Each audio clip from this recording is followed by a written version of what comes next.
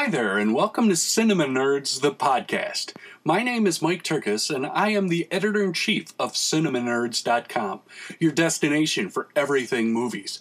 At Cinema Nerdz, we have coverage of movie news, trailers, reviews, as well as the occasional interview. Every week on this podcast, we will be offering our views on the latest film releases, such as our topic today. While you may not remember when the stature of Nicolas Cage and his acting ability became the stuff of legend, rest assured it did. And Tom Gormican's film, The Unbearable Weight of Massive Talent, sets out to ensure that everyone recognizes how utterly fantastic Mr. Cage really is. What's the worry here, Nick? You've lost some of your talent as an actor? No. what did he say? He says he loves you, but he went in a different direction. I'm done. I'm quitting acting. Ah, man, I'm driving through the hills. I'm sorry. One more time. We got another offer. It's a million bucks. It's to attend a wealthy gentleman's birthday party. The guy that owns this house, what's his name? Javi. Javi. Mr. Cage. Excuse me. Is Javi going to want me to, uh, you know? I'm not sure I understand. Look, it's Javi. I am Javi. The film follows actor Nicolas Cage as, facing an uncertain financial future and dwindling acting prospects, he is forced to accept a rather lucrative offer to appear at the birthday party of a wealthy fan played by Pedro Pascal. Intending to retire after the party appearance rids him of his debts, Cage finds himself recruited by CIA agents, played by Tiffany Haddish and Ike Barinholtz to provide intelligence on this super fan, whom they believe to be a notorious drug smuggler.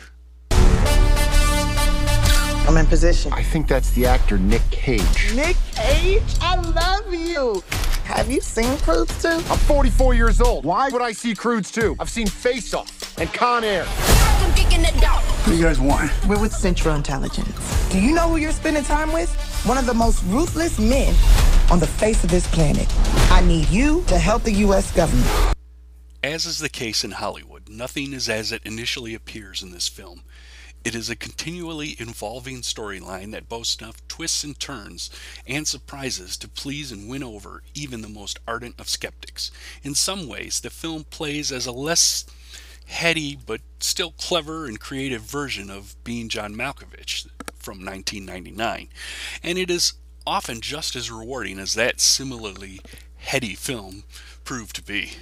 You can't quit acting, you can't! That's none of your business. Whether you like it or not, you have a gift.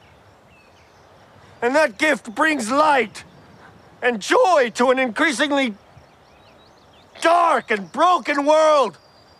And to turn your back on that gift is to turn your back on the en- entire human race.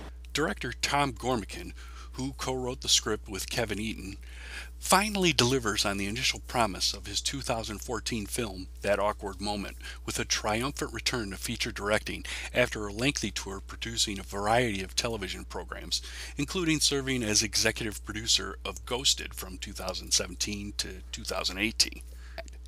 There is a reverence present for the persona of Nicolas Cage, to be sure, but the actor is so in on the fun that it is hard not to get caught up in that exuberance as well. That's our episode for this week. Thanks for listening, and don't forget to visit Cinema Nerdz on Facebook and Twitter, and at our website at cinemanerdz.com.